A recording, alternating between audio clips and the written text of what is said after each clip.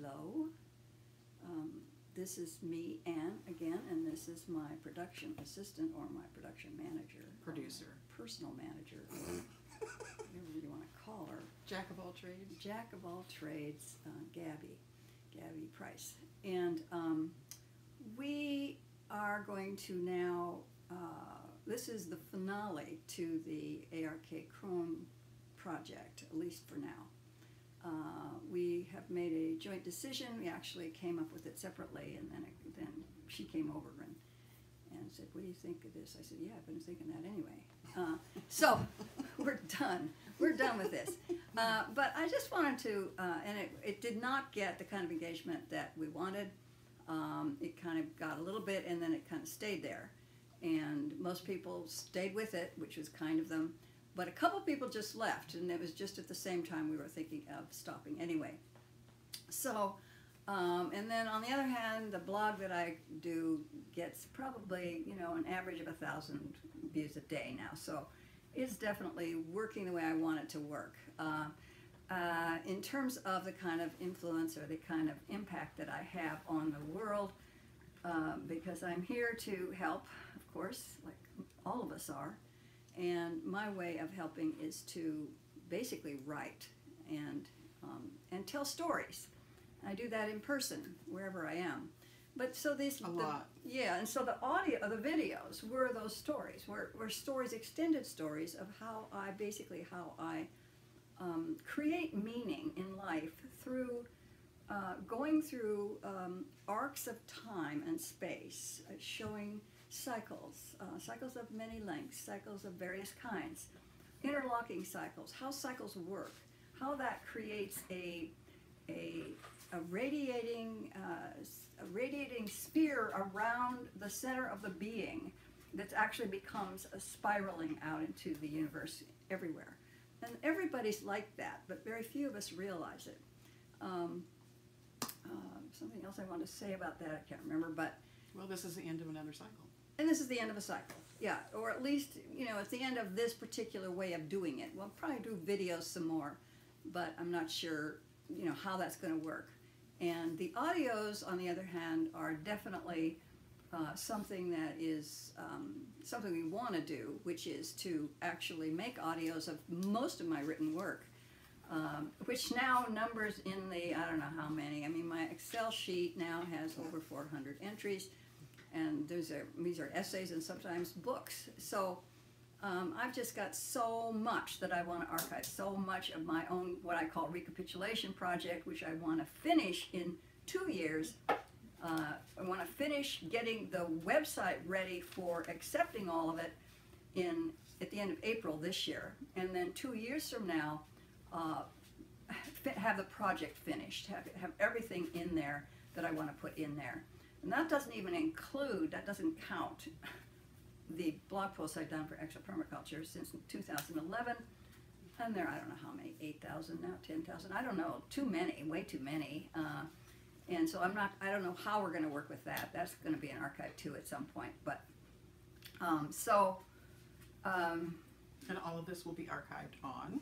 uh, oh yes, Tendre Press, which is the the press that I began the writing project, the, the writing or the publishing end of my writing when I moved to Bloomington, Indiana, which was uh, 17 years ago.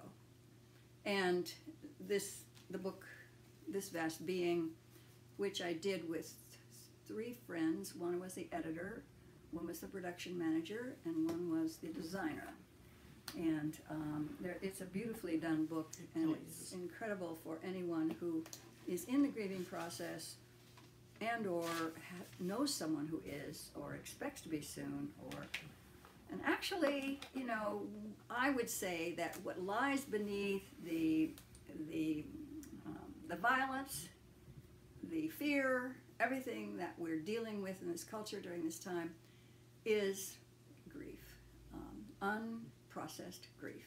So grief is a huge issue if we would just tap into it and recognize that we all need to process our own grief, and then there's the collective grief, of course, which is of the whole world. Um, one other thing I wanted to say about um, this project, which we started right before the uh, pandemic um, started to take us all, and then the election, and so both of those things were what has been riveting people. I know I the videos I watch have to do with those. You know, have to do with uh, cultural or, or geopolitical or political matters, um, and I'm sure everybody's in this. So here we have this woman, this old woman, who's doing this project of looking at her life, looking back at her life. So what? you know, so what? On the other hand, there are those videos there now, and they are there as examples for anyone at any time who wants to learn how to process in a way that's conscious, doesn't require other people, doesn't require experts, doesn't require um, therapists. you may want to do some journaling, on the other hand. It requires intuition. It requires intuition, and it, it's helpful to have friends to co process with e- equally. So each of you help the other that way, which is what I've done all my life is co process or process by myself. So, so we're done with this now. This is the final. Um, this is the final podcast on this. And this vast being Yeah. became the segue into. I, I was supposed to post the first chapter to this Yeah, Uh, as an audio. as an audio, but there's so many amazing photographs and um, images in this book that need to be scanned and put into the video and edited into the video, and I had to destroy basically a beautiful copy of this vast being uh, to make sure I could scan everything in properly and everything would look nice. But and it's it's a, it's a great deal of work, and uh, and I want to do it right. And what we've been doing is one audiobook, then a video, One audiobook, Yeah. video, and this is the kind of project that I don't want to snooze on. You know, like if I have a bad week and I make a mistake and it's not the same each time, then the whole audiobook is going to not be what it should be. So um, that's what caused me to get up from my desk and come see Ann and say, hey, how about we let go of Patreon and focus more on making sure that Tendre Press is is ready, ready to go. And it's a lot of work. Right. But we do need to monetize um, this aspect of my life, and that wasn't doing it, obviously. Um, and there is a button on the blog that says, you know, you're welcome to donate to keep this project alive, and that sometimes we'll receive $100 from somebody, which is nice, but it's not been very often because I haven't really asked for money at all. I just haven't done that. Um, but why don't you give a list of the costs that you that that you're aware of? The co- well, the costs of Of what? The production of Crone, Crone, the pr- yeah the production value. Ann pays me for this work, and the the Patreon fund does is a drop in the bucket compared to what she's paying me to do this work. And I feel like if if we start if we stop the Patreon now and move everything over to Tendre Press and get it ready to go and monetize the downloads for each chapter, full audiobooks, PDF downloads for each of the books that weren't available before, like doing the dishes and Ten Tools. Um, and then offer up signed or unsigned copies of her book, This Vast Being, um, and, and house that all in one space um, that she can um, share on her blog and in other places, and then people are more aware of um, where she's um, creating things that, that are available piecemeal or in one big, you know, download. We're figuring out what that's going to look like. What, how much is that going to be? You know, where is it? You know, every chapter download for how much, and full audio downloads of the entire books for a different cost. And I would like to see this vast being offered up for sale and signed copies that you could ask for Ann to personally sign for you at a higher cost.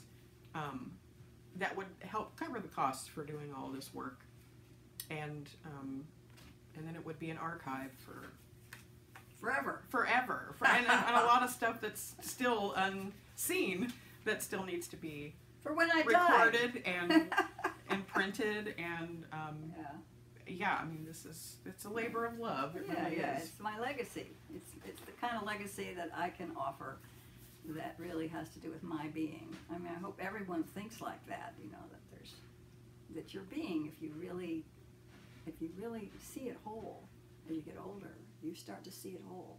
It's something to offer to the world, and it doesn't have to just be material things, which most people think about, or money.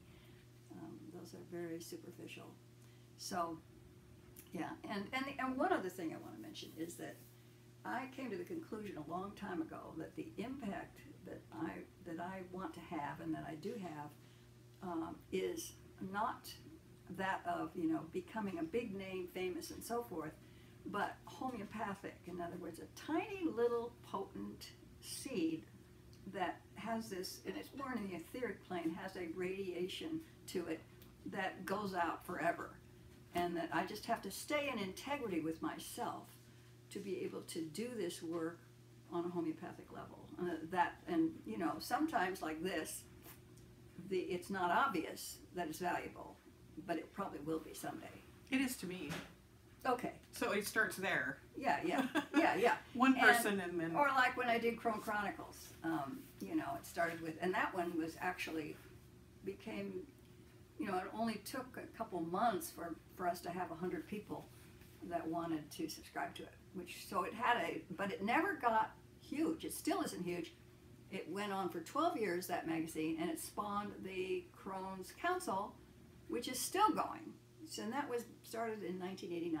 So that's what I mean. These things have a radiating effect on the culture.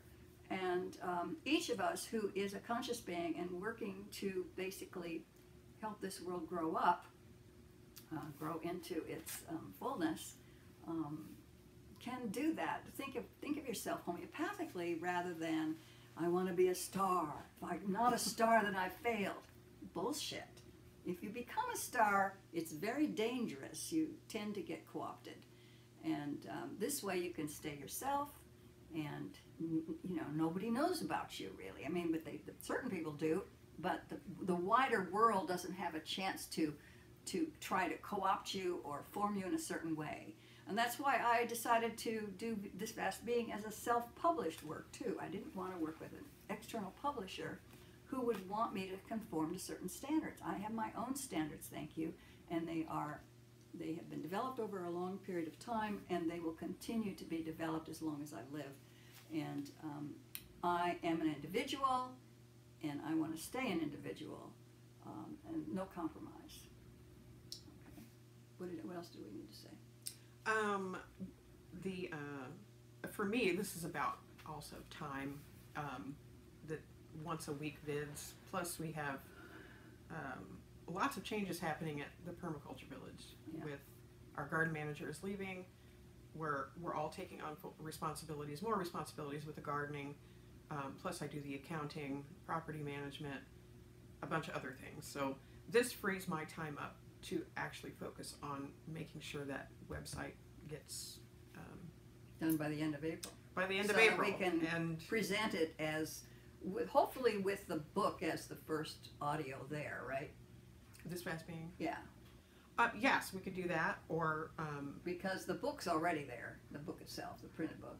Yeah. But, so if we did an audio for that and showed that, go ahead. because everything, well, I mean, everything else is already done, like the Ten Tools book Yeah, and yeah. the dishes book. Yeah, we could all put that those re- up.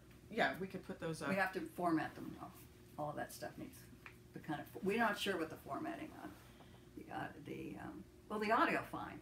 yeah, the audio would just be offered up yeah, as MP3s sorry. possibly. Yeah, yeah. But we, I mean, I think that we sh- will probably just leave them up on YouTube until the, this vast being is completed, and um, and then, like she said, she's got a whole list of other things that haven't I've not even seen yet. that I'm I'm glad I showed up when I did. um, yeah, I mean, there's there's a lot um, a lot to accomplish, and and I think Patreon to me this whole year has been like a planting of a seed, and this next step is like potting up. We're potting up that seed to make sure it gets more um, oxygen or light or something, um, and there's there's so many more seeds to plant that one over here um, is kind of a niche, but since she already has people looking at what she's doing on the blog, it's better to to come out of that greenhouse and Yeah. get out there. I want to tell one more story um, that reminds me of a man who was the father of my husband Jeff, who was a was actually famous in his field. Um, he was the inventor of the cell phone. Oh, yeah, I've not heard that story. yeah, and he was um, um, he he worked for AT and T. It used to be called Bell Labs, but anyway, he was the only man alive who had the history of electronics in his being, and he was trying at the end of his life to write that down, oh wow. and he never got beyond an outline. And I look at that and I think that is so sad that he wasn't able to do that because we would have that now if he had done that. You know, we don't want to cancel culture. We want to enrich our present by understanding and really recapitulating our past over and over again. It slows us down so we don't have to be so, you know, frantic. It makes us feel more grounded. It does all sorts of stuff to be looking at your whole life and what you have contributed to the world. Is that enough? Yeah. All right, we're done. Final, final RK, RARK CroneCast. I think Uh, I think what? I, what I would say I, I there are so many things that I learned through Ann's work that I'm looking forward to doing more of this, just in a different capacity. Mhm. And um, we learn through experience, Mhm. and this has been a great experience for me. I'm very proud of the work we've done. Mhm. So, thank you all very much. Thank you.